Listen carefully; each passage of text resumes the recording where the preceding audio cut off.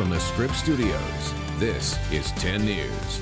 Hello there, I'm Virginia Cha with this 10 News update. A man taken into custody in the murder of a Gaslamp club manager now released from jail without being charged. Jonathan Hernandez was arrested Monday morning after 33-year-old Joey Holtz was shot and killed following an argument. But yesterday, police and the DA announced that Hernandez would be released and no charges would be filed at this time. They say that's coming after they received some new information. Now, police say Hernandez is still considered a suspect, but they didn't release any more details. Massive homeless outreach by the city of San Diego today. This is part of the Connect Support House program to reduce homelessness. Outreach teams led by Mayor Faulconer heading out across the East Village, inviting homeless people to the tailgate lot at Petco Park.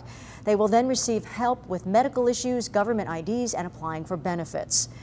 Crews cleaning up after a water main break near the airport. A pipe broke yesterday under Hancock Street at Emory. Water started gushing out of the pavement and flooded some nearby businesses. The water was shut off pretty quickly. Crews still cleaning it all up this morning. Parts of Hancock Street and the off ramp to get on the 5 freeway now open. Former Coleman University students who are still exploring options after the university unexpectedly closed can get some help today.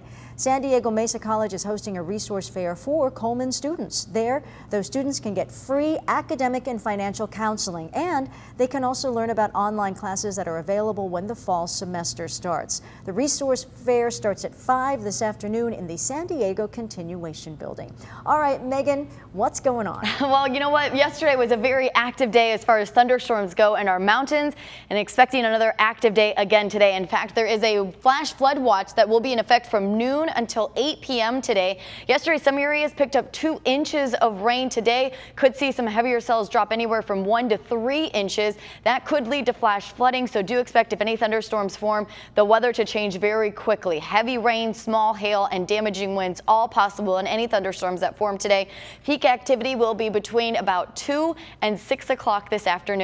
Generally in the 70s along our coastline with a few 80s like in Oceanside and downtown. Mid to upper 80s for our inland neighborhoods. Escondido at 88, 86 in Poway and in El Cajon today, and 85 degrees in Santee. 80s also in our mountains and low 100s in our deserts. It's still going to be pretty muggy tomorrow, but humidity drops inland as we head into this weekend. The temperatures will be on the rise. Virginia? Thank you, Megan.